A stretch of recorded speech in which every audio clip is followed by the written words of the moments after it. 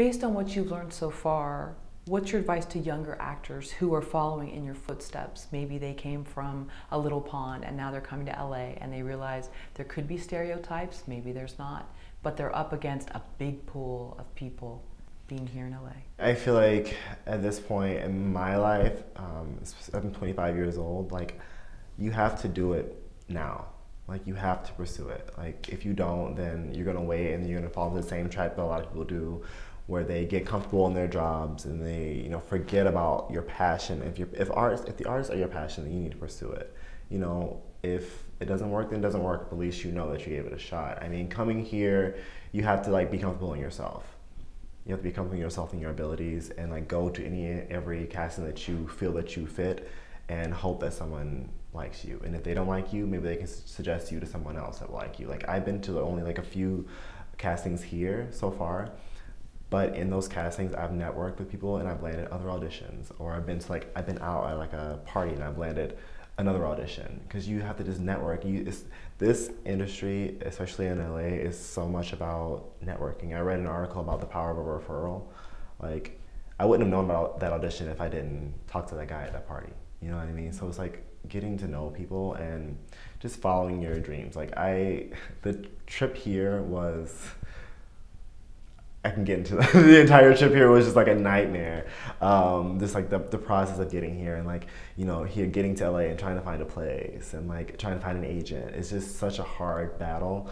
But I know that when I'm done, I'm going to have a story and I'm going to be really proud of it. I'm going to be very happy that I did it. So I say go for it. When it comes to an MFA in acting, in whatever field, because I pursued an MFA in acting for film, um, where all my five years of college were in theater, and before that, all my training was in theater and classical theater.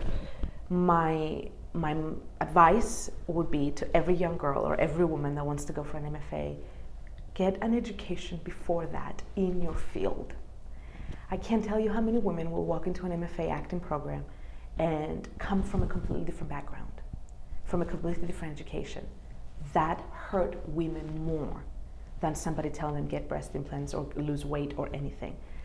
That hurt women more because they walked into a world they had no shields for. They had no protection. They walked into a world that said, oh, now you have to stand with all your emotions naked on stage. Good luck with that. And you're asking a woman that came from the corporate world, that came from being a mother, that came from chemistry, like, I mean, women that they're used to be heady, all of a sudden you're asking them to put their emotions out on stage. That hurt them more than somebody telling them get breast implants or lose weight. Why? Because somebody would tell them that in the actual outside world too, not just in the theater Hollywood world. They had men tell them things like that and they'll brush them off. In this industry, women, we somehow learn to walk past those things, even if the, that split of a second they will hurt we learn to walk past them. But if you're trying to make a career out of being emotionally raw on stage or in front of the camera and you have no training behind that, that will scar you for life. And I've seen I've seen classmates of mine get out of grad school and never do never pursue this industry, never even signed up with they had that package in their hands. They walked out, they dropped it in the trash and move on in life. Because they weren't prepared they didn't have the five years of training that I had. And I walked in being like, I'm gonna walk out of that and I'm gonna be ready to work. This is just another stage in my career. It's not my career. Does that make sense? For them, was the end of the road. Grad school was the end of the road. That was sad. And so they, the, all the money they paid, student yeah. loans, everything. They, now it's just a student loan, and I'm speaking for specific people that I know. And yeah, that was the end of the road for them. Some moved on to become makeup artists. Some moved on to nothing at all. Some moved on to just having families and kids and not pursuing this business ever again. Because grad school was a scarring experience. It, it, was hard. It's not just going to class every day like any other school that you have to write 10 pages, papers. You're on stage in front of the camera 24 7. Literally. Every day you have to be makeup and camera ready. And you have that casting director professor behind the camera saying, you're not going to get the leading lady because you're fat in the real world. But here, yeah, sure, here, why not? for me, it comes down to am I willing to live with the rest of my life with people like, hey, you're that black girl that was like that, or did I and do I connect with that uh, that character? That's what it comes down to. Because honestly, money comes and goes. It does, but it's my happiness and how do I feel about myself. That's more important to me. What can you really do that's not like the if you're if you're if you have a regular job that's fun it's interesting but you'll never experience the same thing you experience when you're in a creative environment, when you're putting together a play or putting together a, a documentary or acting in a movie. You don't get that feeling, and now and that's why people who are in, are actors they live in their 80s and 90s because they're having so much fun. You know, they're open. They're, they're opening themselves to everything. You know, you're putting you put in situations that you've never been in before, and it's it's like a light comes on when you get it, when you know you nailed it. You know, it, it, it's great. It's just it's just I can't explain it. It's if you're talking to someone who does plays or whatever, you can really they understand what, what you're talking about. If you do a play when you leave, you're so jacked up. I mean, you're like in another world. It's like you're so high, you know, but you can't, unless someone experiences that, they can't really know what it feels like. She said, Mark, you're a bit lazy and a little bit afraid. A bit lazy and a little bit afraid. The flip side of the coin, and I'm going to go segue many years after the fact, I had the pleasure of working in Steven Spielberg's Hook as a pirate. That was 1991, a lot of years, chronological years. But he interviewed all the pirates himself, one on one. I submitted through Drama-Logue, got called in. I was non union at the time, background. I did some voices and accents, and he just looked at me and said, You got a lot of guts. So, from the flip side, you got a lot of guts. And throughout the years, Karen, uh, Uh, I've attempted to, to, work out of that laziness, out of that laziness and that and that fear, but and and have a life as well, work regular jobs and, and, and so forth and so on. But I can always, but I say that to say there's always room to to even work more out of the laziness and the, the being afraid, the fear of success. Even in regular life outside of acting, just wish that people could get along, that people could see each other just past the skin. Because if we all peeled our skin off, we would just be the same. You couldn't tell at all who we were. Um, I think if people, the, the case in point with Saturday Night Live, for instance, when they were uh, not forced, but just compelled to bring on African Americans and just they still need to bring on Latina actors and stuff. But that is a great example of how the show was enriched because of these different perspectives.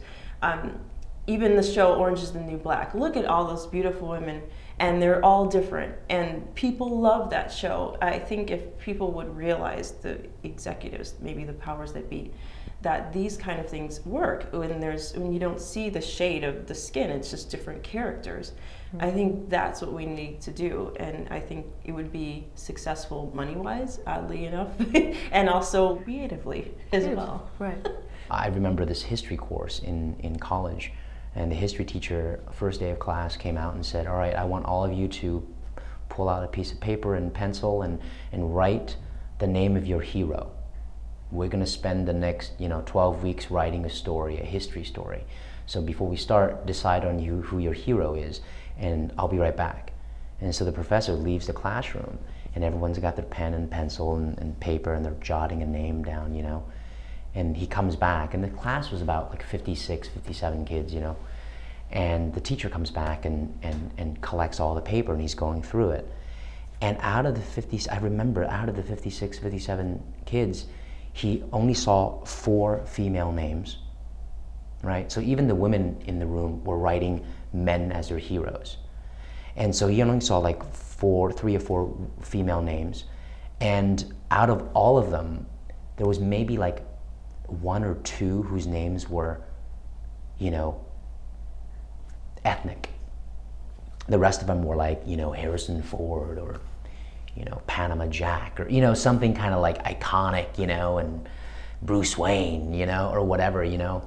Um, and so I think that has a lot to do with the way we grow up. We grow up, we're watching Clark Kent, we're listening to Bruce Wayne and, and, and Peter Parker, and these are really kind of like apple pie American names for heroes, you know, and and they're men, you know, and they're square jawed and they're kind of like tough and they're not, and so that comes into how we grow up, and when we get into a position of reimagining our stories, we basically regurgitate what we've eaten all these years without thinking about it you know? And even as a minority uh, a writer when i've written i've had to really mindfully say well does it have to be a guy? Does it have to be white? You know does it even have to be asian you know so i think even before we get into the casting room about your question sometimes it has to do with from the writer you know how you kind of make the source material if you make it kind of really interesting it almost gives everyone else permission to make it more interesting. If someone insults me and they're not apologetic, if they're having a bad day, uh, obviously some people have bad days and you have to figure out how to communicate with that person. But if someone is insulting you and someone is treating you, being abrasive with you, and you say, listen, you know, can we talk? You know, are you having a bad day? You know, I just feel, I don't know if maybe you're having a bad day and you're not really focused today that you're uh, being aggressive towards me. Am I, am I, is there a problem between us? And try and, try and figure out a way to figure it out because we're humans. We all do the same things. We just do it differently. So I want to find out, well, well how can we work together? And if we can't, obviously, you know, you just can't work with that person. But if you Take that time out to try and resolve it. Nine times out of 10, you will be able to resolve it. One, you're there for a reason. They have a project, they want to complete it. And if you say, well, I don't want to be in this project, that's a problem. So they want you to stay there. I mean, they want you to work with you. So, but most of the time, I, I, I don't have that kind of problem. I feel that I, you know I can communicate well with people, and I don't really, I don't really feel that that's going to end everything. But obviously, if it's just so unbelievably terrible and you can't resolve it, there's no way you can make turning a, a negative into a positive. You know, it's obviously you just can't you can't work with that person. In the beginning, it was more like wow, maybe I'm, I'm very, I'm too aggressive. Maybe I'm too passionate. Maybe I'm too, but see, that's the way I am. That's the way I was brought up to. That's the, that, that's, that's me. That's who I am. And so instead of diminishing that, instead of, you know, kind of, you know, putting yourself in a, you know, kind of like a, in the fetal position, you know, uh, and say, you know, I'm not going to do that. You know, go ahead and do that. Tackle that you know, I, I tell myself, embrace that, take that in, and do the best that you can, you know, with that particular role. I guess by by putting myself out there, which is a very vulnerable place to be in, but I do think that if you if you have a dream and you pursue it and you're 100% committed to that dream, um, I think you can manage anything, and that's the hope I have right now is just to get out there, to be seen, to take my acting classes, to get to know people, to do as much work as I can and then you know maybe someday write my own things so I can give myself the roles I know I can play and then through that kind of you know spread out and you know let people know that I'm more than what I seem to be. You have to stay true to yourself, you know. Know who you are. You know, no one can tell you who you are. No manager, no agent, no huge Hollywood production. You have to honestly know who you are as a person. And if you know who you are as a person, you're going to just excel and go the furthest of the far. You know, you, you just stay focused, do what you have to do. But once again, the, the, the main part to the, to the success is knowing who you are, stand true to it. And if you don't fold and, and break yourself, you're going to excel. You're going to go far. You're going to do great things in life.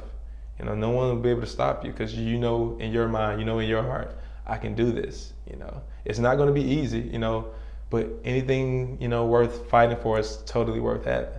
You know, my grandmother tells me that all the time. You know, easy come, easy goes. But those things that you work your ass off for and, and you go hard for, trust you will see some type of just vital, just improvement somewhere down the line. And and you you know, take on challenges that you never thought you can take on. But once again, you know who you are, so you know you can take on those challenges. I would say start with your history. That's what I would say. Because um, if you know specifically when it comes to African Americans, because oftentimes people tend to erase that really big chunk of American history called slavery, and then the Jim Crow era, and then the civil rights, you know, all of that. So I think knowing your history um, would really, really uh, anchor you because we're resilient. And so often we had to create our own reality because of the levels of oppression and brutality, just which we're seeing now. You know, history is sadly repeating itself in some ways. Things have gotten so, things have gotten better in some ways, and it's gotten worse in some ways. And I would think finding um, artists outside of Hollywood who inspire you. It could be a teacher, it could be someone in your family, it could be someone on Broadway. But I think sometimes with the glitz and glamour of Hollywood, we forget that these are real people. And um, there are like these light bulb moments like, oh my God, you know? So I think history um, definitely working, like training, like knowing your craft. Beah Richards, there's a book, LisaGay Hamilton, uh, I don't know if you're familiar with uh, A Black Woman Speak. I think every every person on this planet, especially every actress, not only African American actresses, but especially African American actresses, should see that film because I watched it and I cried like a baby because I said, oh goodness, you can survive and you can thrive even without being a household name. You can create these wonderful opportunities for you, for yourself. And I was looking at someone like Beah, and I'm thinking, wow. Um, so, I mean, I, there's no one answer, but I think that's what has helped me uh, anchor me, um, knowing who I am. Um, not apologizing for myself, self love, because a lot of people are attracted to um, the entertainment industry. A lot of broken people are that instant gratification. You want to be famous. You want to prove something to your family members who said you would never make it. You, you know, there are all these reasons why people flock to a city like this and, and New York and everywhere. Um, but specifically cities like this. And I, and I would say, uh, if you don't know who you are, learn who you are. Because something I told my students, I don't want you to just be the most amazing actress or actor. I want you to be an amazing human being because when the lights fade and there is no applause, you have to be okay with who you are and you have to be okay with the choices you made. And that does not mean that I don't have moments of doubt. That does not mean that I don't have moments of fear. That does not mean that I don't feel some type of way when I see other actors getting roles that I turn down and, you know, possibly making more money than me. Um, but I'm clear about my mission. And when you're clear about your mission and when you know that this is your true calling, nothing can stop you. Not a racist um, casting post, not a misogynistic filmmaker who wants to put you in a box when you're on set, not a PA who comes up to you talking about girlfriend, you know, the stereotypes. It's a good journey, you know? And that's why I'm excited to do this because even saying this, like I'm saying it to you all, but I'm saying it to myself as well to keep to keep pressing forward. But I do know it to be true that you can thrive if you want to. And part of that is not being so desperate. There's a level of like hunger you need, you know, um, to make you, you know, it pushes you, but that desperation where you want to do every single thing, mm-mm. you have choices and it's powerful.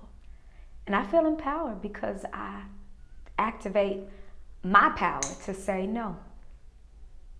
Do I always do I always do it? No, but I try very hard to um, not say yes to things that don't feel well, even if it pays well. And for that reason, I feel like I'm in my own lane. I do. I feel like I'm in my own lane. And I'm grateful. So that's it.